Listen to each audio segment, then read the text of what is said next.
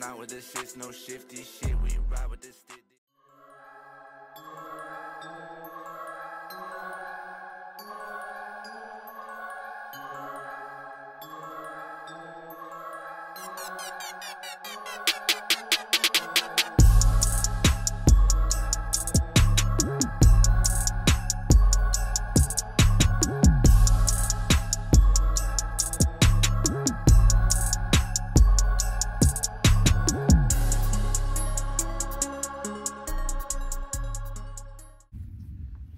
What's up YouTube? Welcome back to the channel. Uh, today I want to do a four-year review of my 2020 Silverado um, Duramax. Uh, I bought the truck 6-8-2020 I believe. Um, I bought it uh, for $59,000 brand new off the lot. This is before all the craziness with COVID and everything else when prices went through the roof. So I got a really good deal on it. Um, yeah, I have 45,000 miles on it now. Um, so I kind of wanted to go over the pros and cons. Um, the pros with the truck, runs great, tows excellent, plenty of power.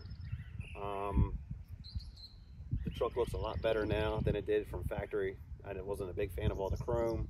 Um, cons were uh, I've had it for like two or three weeks and the rear spoiler in the back um, how Chevy makes them now uh, was leaking pretty bad. So I had to get that covered under warranty and get that fixed all fixed. Doesn't leak anymore.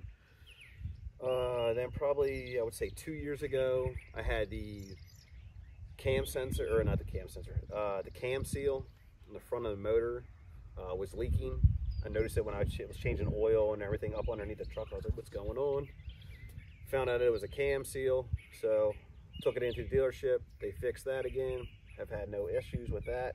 Um, the only other thing i know there was a recall i believe on the NOx sensors which i haven't i haven't done anything with it because it hasn't done anything to the truck. Still runs performs exactly the way it is. Um, i just wanted to kind of give a quick update on my four years of owning uh, 2020 Duramax, the L5P. Uh, I really believe it's probably about the, my opinion, this is all opinion based, is probably the best platform out there. Um, just go to any diesel shop and you'll see what brands are always there at the diesel shops. With that being said, that's it. Thanks for watching. I appreciate it. All right, one other thing I wanted to mention was um, I've had great luck with the truck. I've owned it for almost four years now. Um, I've never owned a Duramax before um, or any diesel pickup ever. This is my first one.